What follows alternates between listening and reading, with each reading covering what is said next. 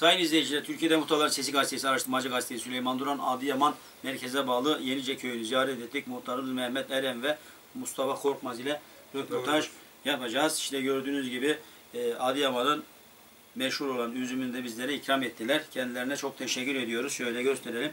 Gerçekten süper bir tadı var sayın izleyiciler. Adıyaman denince akla ilk de geliyor. Benim tütün geliyor. Evet. Değil mi efendim? Evet, Bir de Atatürk. Barajı geliyor. Teşekkür ederiz. Adıyaman'da e, köyleri ziyaret ettim. Vatandaşın tütün konusunda tedirgin olduğunu gördüm. Bununla ilgili düşüncelerinizi kamuoyuna paylaşmanızı istiyorum efendim. Valla tütünün kotada girmesinden dolayı zaten vatandaş büyük sıkıntı çekti. Su, sonradan bu özel firmaların Adıyaman'ın gelişinden dolayı biraz gelişme oldu da, da bu son bizim sürü tütünün e, kotaya girme durumundan dolayı biraz yasaklanma durumu var vergisinden dolayı biraz millet tedirgin. Tedirgin. Evet. E, o Ege tütününe de sayın izleyiciler 2013 Fiyatlarımız 2014 çok fiyatlar. düşük. Evet. Fiyatlarımız çok düşük. Şu an 2017'den baş fiyatı 13 diyorlar da kimine ben geçen sene şahsen 10,5 milyon paran aldım yani kilo. Evet, kilo. 10, Aldın. 10,5. Baş fiyatı 12,5 10,5'tan aldım. Hatta ondan dolayı firmamı da değiştirdim. Evet. Yani sayın izleyiciler bu fiyatlar 2013-2014'ün fiyatları. Ben Ege yöresinde gezdiğim için biliyorum ki orada da işte Manisa'nın kırsal bölgelerinde, Gördes, Demirci, Köprübaşı ilçelerinde ve Manisa sahilinin dağ köylerinde de tütün ekildiğini e, gördüm. İlk olarak traktörün arkasında 5 kişinin oturarak baktım fidanları ektiğini gördüm makineyle. Doğru. E, fiyatları o zaman 2013-2014'ün fiyatları şimdi Adıyaman 2017'nin e, fiyatlarından alınıyor. Çok düşük. Düşük, Vatandaşın bu tütünün emeği çok zor. En E, az çünkü ben çok iyi biliyorum bu 20 tütünü. milyondan satılması lazım ki bir vatandaşın yemesi çıksın. Evet. Ben 25 diyorum yani o zaman mazot gübre çok Muhakkak. ucuzdu. 20-25 En lira az olmaması 25 Türk lirası olmalı sayın izleyiciler. Onu da belirtelim. Yani şimdi tabii ben e, e, tütün ürünlerde kullanmıyorum ama bu da bir sektör oluşmuş. Mutlak bunu e, engelleme imkanımız da yok. Bakıyorum ki Ankara'ya bir kalp cerrahiyle gidiyorduk. E, aynı a- a- otomobilde. Baktım e, şey yapıyor, içiyor.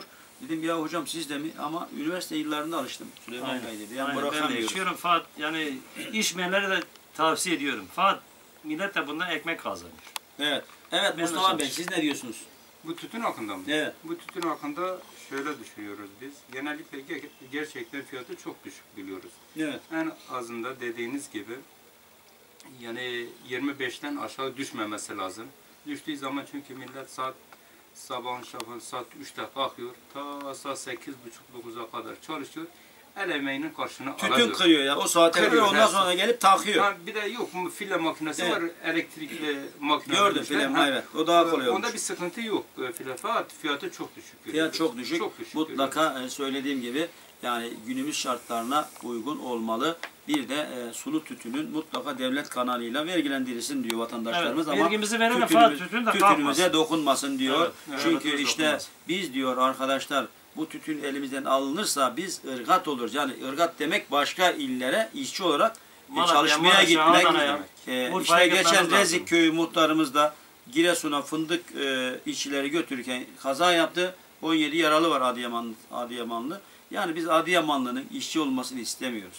Yani tabii her kişi çalışmak zorundayız ama başka illerde işçi olmasını istemiyoruz. Herkes kendi Kendi işini baksın. yapmasını istiyoruz burada sayın izleyiciler.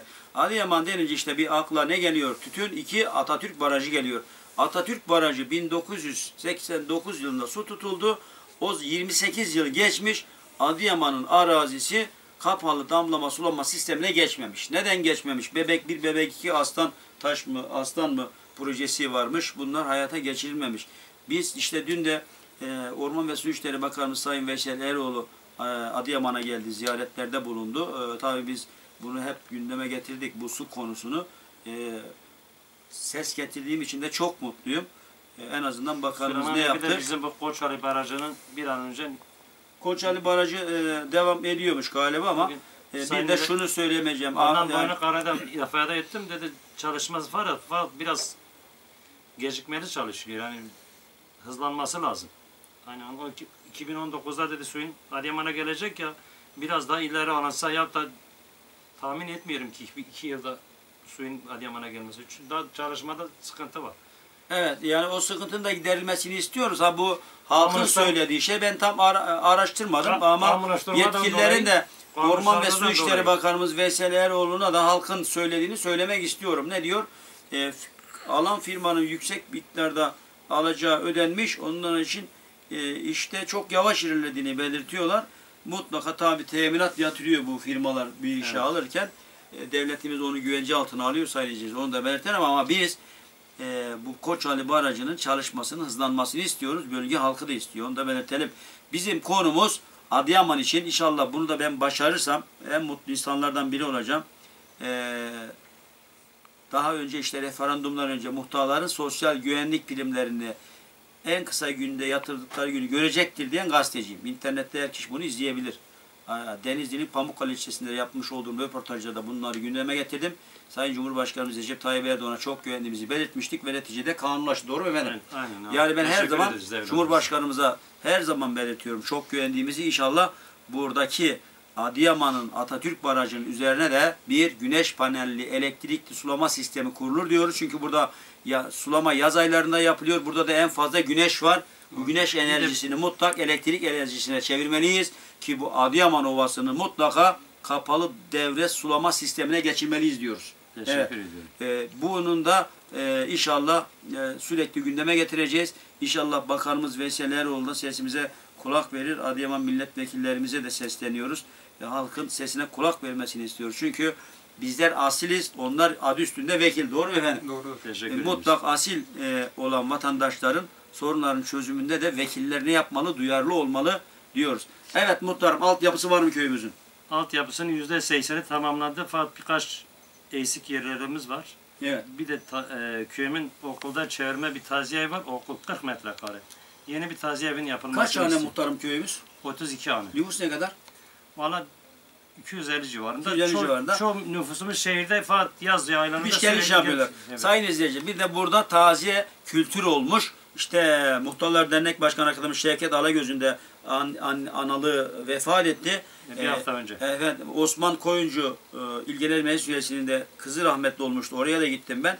Ta 100 kilometre ilerideki Adıyamanlı vatandaşımız taziye geliyor. Onun için bu 40 metre karelik yer burada yetersiz. Onun için mutlaka Yetmiyor. taziye Köylüye evi, yeri evi gelenlere evet, yapılmalı diyoruz. Taziye evi mutlaka yapılmalı. Bir de Parke taşı döşetmişsiniz efendim. Yüzde sekseni düşerim de bir eksik. Eksik on kaldı, yirmimiz onlar da tamamlanmalı diyoruz. Evet. İnşallah Vali Bey'le Murat Bey'le o gün görüştüm. Sözünü aldım gibi. Evet. Bir de imamla ilgili ne dediniz? İ- İmam evimiz yok. İmam Evet. İmam lojmanları Evet, önemli. lojman. Eğer imam lojmanını imamlar beğenmezse eşi geliyor bakıyor. O zaman köy Onun imamsız için kalıyor. hanım köy gelmiyor. Evet gelmiyor. Mutlak dolayı. imam lojmanları yapılmalı diyoruz sayın Küçük bir oda-. Okulun lojmanı var. Ufak bir oda. Geçici olarak imam orada kalıyor. Yok da hep ben istifa edip Adıyaman'a gideceğim. Ya da istifa edip Evet.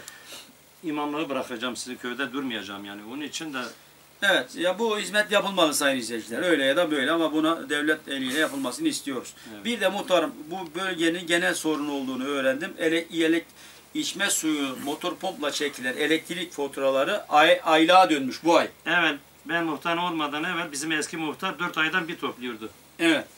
Bu yüzlerin Evet. faturası 4 ayda bir gelirdi. Şu an 2 aya düştü. Şu 2 aydan önce de hep tek aya düştü. Şu anda ay. bir aya düşmüş. Evet. Evlerinki de her ay geliyor. Normal İçme suyunki de her ay geliyor. her ay geliyor. Evet. Bu sefer ha, cebimde liste var. Liste yapmışım bu sefer vatandaşlar parayı toplayamıyorum. Evet. Birkaç muhtarı gördüm liste yapmış sayın Bütün muhtarlarımızın Yani muhasebeci gibi. bu. Evet. Aynen liste cebimde var. Adıyaman'daki muhtarlarımızın genel sorunu bu. Mutlak bu eski İşi gücü sisteme bırak gibi. Evet. İşi gücü bırakıp bu 5-10 bin lira su parasını toplayamıyoruz. Evet. Listede önümde. Hane hane muhtarımız gezmek zorunda sayın izleyiciler. İşte ne dedi? Yine mi geldi muhtar? Değil mi Ha. efendim? Harçın Yani, mı bitti muhtar diyor. Biri Buyur. diyor muhtarın mi düştüğü bitti? duruma bak. Biz onun için bu elek içme sularının elektrik faturaları mutlak ne olmalı? Dört 4 ayda ayda bir bir olmalı. toplanmalı. Bir de ben bunu şunu gündeme getiriyorum halk için. İçme suyu elektrikleri %50 indirim verilmeli. Çok pahalı. Doğru Çok efendim? pahalı, Yani çok onu da belirtelim. İçme suyu sadece içme suyu bu zor değil arkadaşlar ya. İçme suyunun e, mot- elektrikleri %50 indirim Hatta verilmeli. Nasıl çok- ki 2015'te ben Şanlıurfa Akçakale Harran'da çiftçimize elektrik, tarımda kullanılan elektrik %50 indirimli verilmesini savunduk ve onu da başardık arkadaşlar. Onu da belirtebilirim. 2-3 gün önce Şanlıurfa'yı ziyaret ettim. Orada hem AK Parti il başkanını ziyaret ettik hem Ziraat Odası Başkanı birkaç muhtarımız da bunu konunun e, indirimli olduğunu belirttiler. Ondan dolayı da çok mutluyum. Biz bu içme suyu konusunun da mutlak %50 indirim verilmesini istiyoruz. Bir öyle bir de bir vali beyle toplantıya muhtarlarla toplantı yaparken bir güneş paneli Adem'i genel işi kuyuların elektriğinin düzenlenmesi bedava getirilmesi için araştırma yapıldı. Hatta şu anda bir gündemde bir sorun öyle bir sorun da yok. Evet, o da yapılmalı çünkü Sivas'ta bu e, bütün köylere kurulmaya başlandı sayın izleyiciler. Sivas'ın da Türkiye ülkemizin her yerini geziyoruz. Sivas'ta ve Yozgat illerinde güneş panelli içme sularının sistemi kuruluyor. Vatandaşımız ucuz su içiyor. O, bu sistemde Adıyaman'ın köylerine kurulmalı diyoruz. Teşekkür Evet, başka Bir de- ekleyeceğiz. Evet, buyurun muhtarım. Bir de bizim çöp konteynerlerimiz bazı köylere geldi de bizim köye daha gittik. Sırasıyla vereceklermiş Evet. galiba. Onu da Onun ben gündeme aldım. getiriyorum. Çevre Onun- temizliği çok önemli. 2012 yılında gazetemiz kuruldu. Türkiye'de Muhtarların Sesi gazetesi. 2012'den bu zamana kadar işte köylerin tüzek kişiliği devam eden illerde biz bu çöp konteynerleri dağıtılmalı, çöpler düzenli toplanmalı. İl özel idareleri tarafından bunu gündeme getirdik. Birçok ilde bunları başardık. 30 tane il biliyorsunuz. Tüm şehir oldu orada belediyeler yapıyor. Adıyaman'da tüm şehir olacak iller arasında ikinci sırada 21 ilimiz daha tüm şehir olacak. Onu da belirtelim. İnşallah e, Adıyaman'ın da sorunları kalmaz, çözülür İnşallah, diyoruz. inşallah. E, röportajımızı da fazla uzatmadan Türkiye'de Muhtarların Sesi gazetesi halkın sesini halkın temsilci olarak seçtiği muhtarlarımız vasıtasıyla bugün de Adıyaman merkeze bağlı Yenice Köyü muhtarımız Mehmet Eren ile kamuoyuna duyurduk. Kendisine Türkiye'de Muhtarların Sesi gazetesine röportaj verdiği için ve gazetemizi desteklediği için teşekkür ediyoruz. Başarıların devamı diliyoruz. Teşekkür ederiz. Biz de Tekrar teşekkür ediyoruz. Biz de teşekkür ederiz.